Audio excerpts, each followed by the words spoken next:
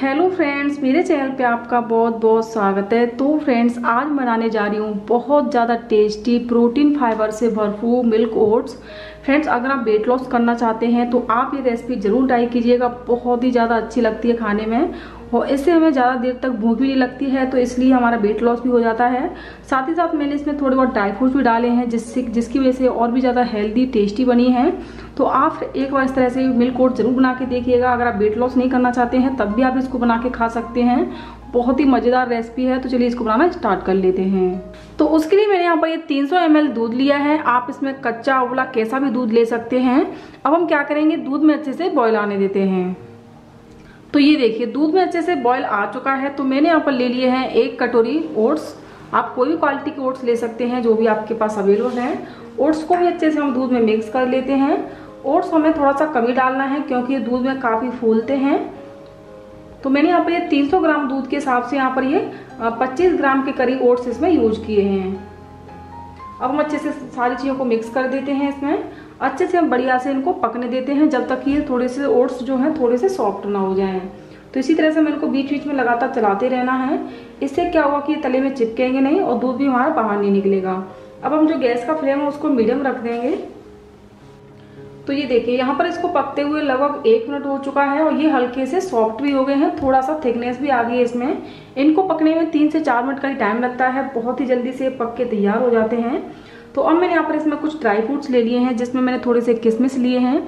थोड़े से, या मैंने बादाम, थोड़ी सी चिरौंजी, थोड़े से काजू और थोड़े से मैंने यहाँ पर पिस्ते ले लिए हैं। ड्राई फ्रूट्स आपके पास जो भी अवेलेबल है, वो आप ले सकते हैं और कोई भी ड्राई फ्रूट्स आप इसमें से हटा भी सकते हैं। ये पूरा आपकी चॉइस है कि आप इसको कितना हेल्दी बनाना चाहते हैं, क्योंकि वेट लॉस के लिए हम बना रहे हैं। तो हमारे शरीर को काफ़ी सारे पौष्टिक तत्व मिलते हैं इससे, क्योंकि हम ओट्स इसलिए खा रहे हैं क्योंकि हमें वेट लॉसन करना है तो साथ ही साथ हमें ऐसी चीज़ें भी उसमें ऐड करनी है जिससे कि हमारी हेल्थ में कोई भी वीकनेस ना आए, एकदम बढ़िया से बनी रहे।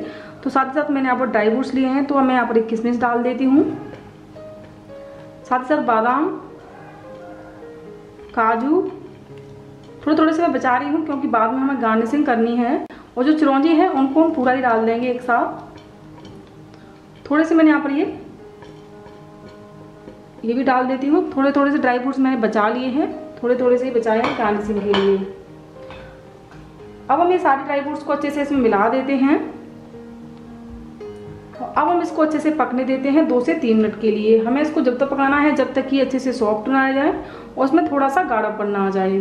तो इसी तरह से हमें इसको बीच बीच में हर एक दो मिनट में चेक करते रहना है। मैं इसमें चीनी का यूज़ नहीं कर रही हूँ, मैं इसमें बाद में शहद का यूज़ करूँगी। आप चाहे तो अगर इसमें चीनी डालना चाहते हैं तो यहाँ पर इस टाइम आप इसमें दो चम्मच चीनी का यूज़ भी कर सकते हैं। बट हम वेट लॉस के लिए बना रहे हैं, इसलिए हम इसमें चीनी का यूज़ नहीं करेंगे, क्योंकि चीनी हमारी हेल्थ के लिए ज़्यादा अच्छी नहीं होती है। तो ये देखिए, यहाँ पर ओट्स को पकते हुए लगभग तीन से चार मिनट हो चुके हैं। अब आप देख सकते हैं कि ये काफ़ी थिक हो गए हैं, एकदम बढ़िया कंसिस्टेंसी में हो चुके हैं और जो ओट्स हैं वो भी काफ़ी अच्छे से सॉफ्ट हो गए हैं। मैंने इनको चेक कर लिया है, देखिए काफ़ी अच्छे से एकदम से टूट रहे हैं। देखिए, काफ़ी बढ़िया से एकदम सॉफ्ट हो गए हैं। आप इसकी कंसिस्टेंसी देख सकते हैं, एकदम स्मूथ हो चुकी है।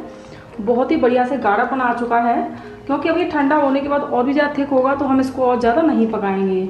ये सिर्फ़ पाँच मिनट में हमारे इस तरह से मिल्क ओट्स बन के तैयार हो गए हैं। देखिए, बहुत ही बढ़िया लग रहे हैं देखने में। अब हम गैस को ऑफ़ कर देते हैं। इसको पहले हम हल्का सा ठंडा होने देते हैं, उसके बाद हम इसको सर्व करेंगे। तो ये देखिए, यहाँ पर जो मिल्क ओट्स रखा हुआ है, वो काफ़ी अच्छे से ठंडा हो गया है।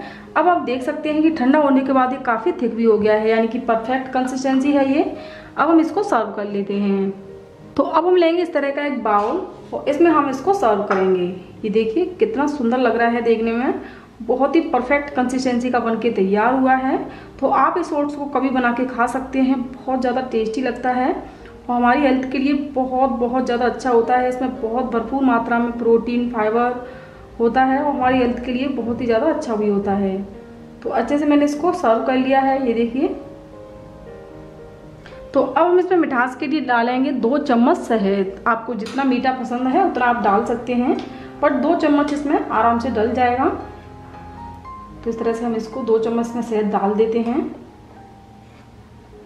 शहद हमारी हेल्थ के लिए भी बहुत अच्छा होता है। तो आप अगर वेट लॉस करना चाहते हैं तो शहद का यूज़ किया करें। थोड़ा सा इस तरह से शहद को हम इसमें मिला देते हैं।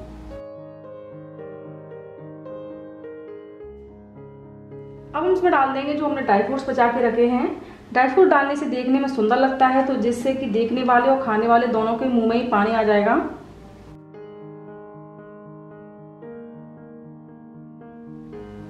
तो ये देखिए, हमारे बहुत ही बढ़िया टेस्टी हेल्दी मिल्क ओट्स बन के तैयार हैं। देखा आपने, इसको बनाना कितना ही आसान है। बहुत ही झटपट से बन के तैयार हो गए हैं। सिर्फ़ पाँच से छः मिनट का टाइम लगा है इनको बनाने में। आपको मेरी रेसिपी अच्छी लगी तो रेसिपी को लाइक चैनल को सब्सक्राइब करें एंड शेयर करें। फिर मिलेंगे अगली रेसिपी के साथ, तब तक के लिए बाय बाय